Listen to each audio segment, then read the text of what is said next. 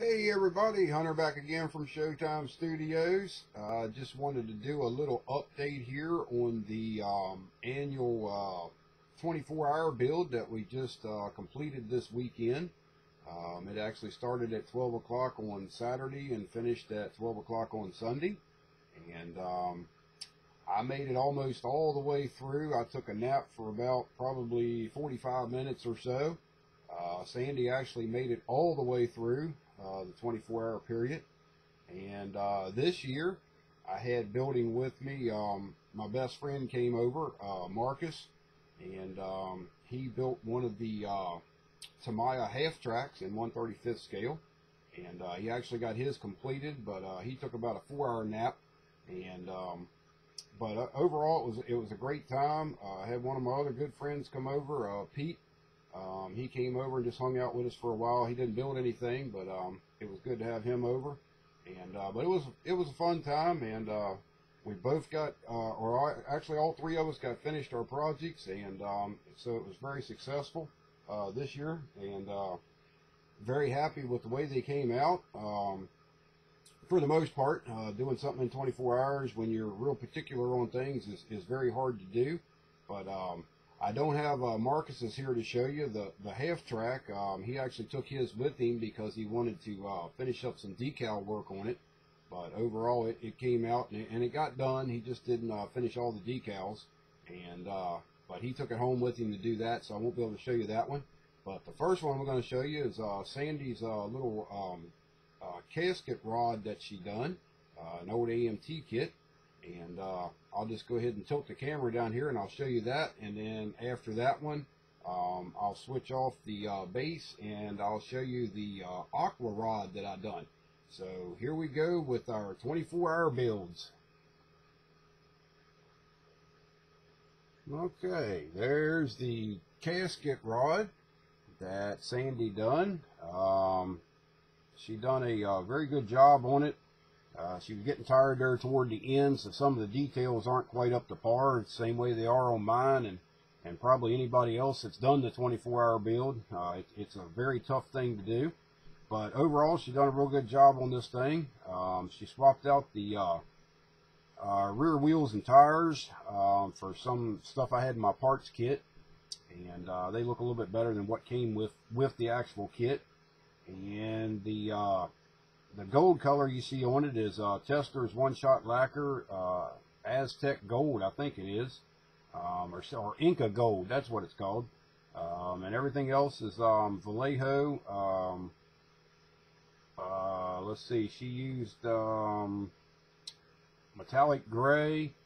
She used a little bit of the natural steel, uh, gunmetal, just various colors of brushed on Vallejo stuff.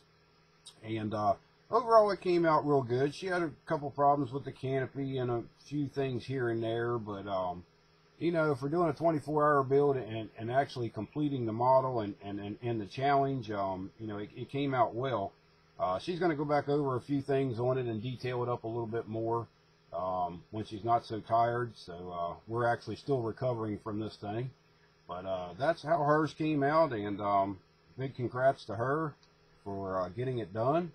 And uh, like I say, she cleaned up all the mold lines and, you know, all the injector pin marks that you can see and, you know, seams and stuff like that. So done a real good job on it. So we'll swap that one out for this contraption that I done. And um, this is actually the Aqua Rod. And see if I can zoom out here a little bit. There we go. And I got it, uh, for the most part, it's pretty much complete. Um, there is some details I still need to add and um, just a couple things that I want to do a little bit different on it. But overall, for the 24-hour build, I, I, accomplished what I wanted to. Um, now, anybody that knows this kit knows that it comes with a uh, flat six-cylinder engine that goes back here in the rear. And uh, that was one of the things that I wanted to change right off the bat. So uh, what I did is I actually bought the uh, old Tarantula Slingshot Dragster kit, and uh, that's got a Ford um, single overhead cam motor in it, blown, and I put that motor up here, uh, made my own motor uh, motor mount for it, and um, changed up the transmission and the torque tube and things like that. And um, just kind of blended some parts together and made it work out. And we painted this thing with House of Kolor. Lake Violet Pearl is the main color, the purple that you see, the bluish purple. And uh, the yellow and the green are all Tamiya uh, straight out of the can. And uh, all the chrome work on it is actually uh, Spaz Stix chrome. Uh, all the kit chrome was stripped off of this, and the chrome actually come out very well. So I was real happy with that. And I swapped the wheels out for some uh, aluminum and photo etched wheels. And I put the uh, the transparent uh, amber glass in it. It comes with four different shades of glass, so I went with the amber. And uh, all the bolts, um, like up here around the top, you'll see these bolts. Uh, they're all Tichy Train bolts. It's been uh, done with Spaz Stix chrome. And I still have to finish up some around the front here. And like I say, there's some more details I want to put on it.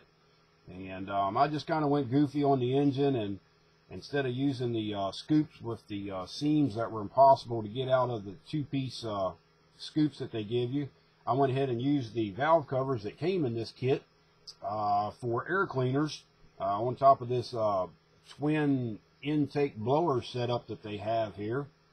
So that was something a little bit different. And But other than that, it's pretty much box stock. I, I modified it a little bit, not a whole lot. And but you know, real happy with the way it came out. And like I say, for a 24-hour build, we done good on those, and uh, we at least you know got them up to this point and pretty much complete. Uh, like I say, I will do some more uh, final details on mine, and Sandy will on hers also to get ready for the uh, upcoming show season.